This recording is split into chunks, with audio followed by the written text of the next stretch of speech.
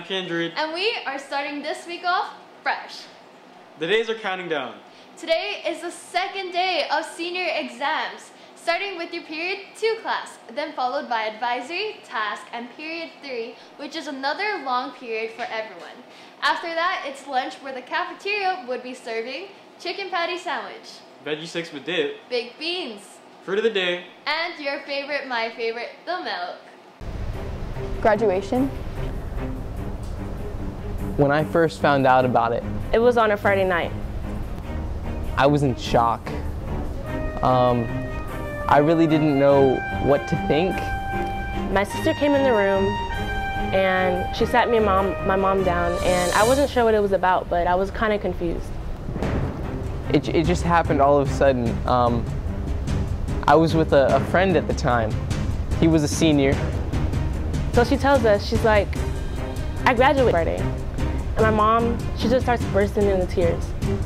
I wasn't I wasn't prepared. I didn't know what I was gonna do. I mean, I don't really care. I'm kind of the oldest. But me, boy, I was so happy. I was thinking about how I was gonna decorate my new empty room. I get her car, and I even get her clothes.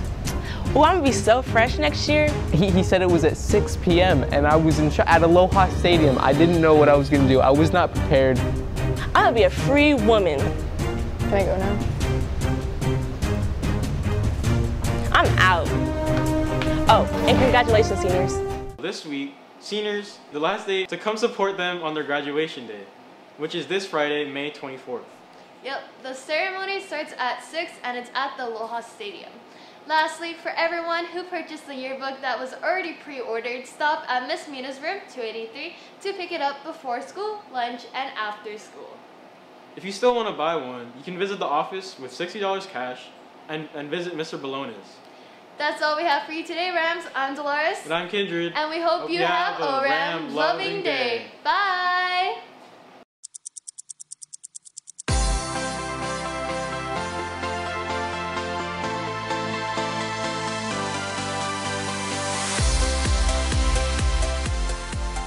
With two weeks left to go in our winter spring season, we welcome viewers worldwide to a new edition of CNN 10. Two rival countries on opposite sides of the world are speaking out against each other, but they're also both saying they don't want to go to war. In the United States, there's a meeting scheduled for Tuesday between the Trump administration and members of the U.S. Senate. The subject, the Middle Eastern country of Iran. In recent weeks, the U.S. has suggested that Iran may be planning attacks on Americans in the Middle East. Iran has denied that. But both nations have ramped up their criticism of each other since last year when the U.S. withdrew from an international nuclear deal with Iran. Over the past week, there have been some suspicious events taking place in the Middle East. There was the apparent sabotage of four oil carrying ships near the United Arab Emirates. There was a drone attack on an oil pipeline near the Strait of Hormuz.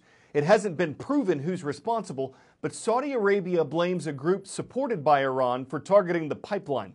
Separately, U.S. officials say their intelligence indicates Iran might be putting missiles on small boats in the Persian Gulf. That body of water is on Iran's southern border.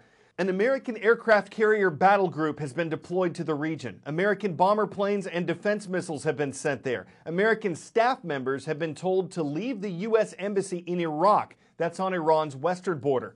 Still, with all this going on, Iran's supreme leader has said there'll be no war. And its foreign minister added that no country is, quote, under the illusion of being able to fight Iran. At the White House, when U.S. President Donald Trump was recently asked about the possibility of war with Iran, he said, quote, I hope not. But he later tweeted, if Iran wants to fight, that will be the official end of Iran. Never threaten the United States again. Can we get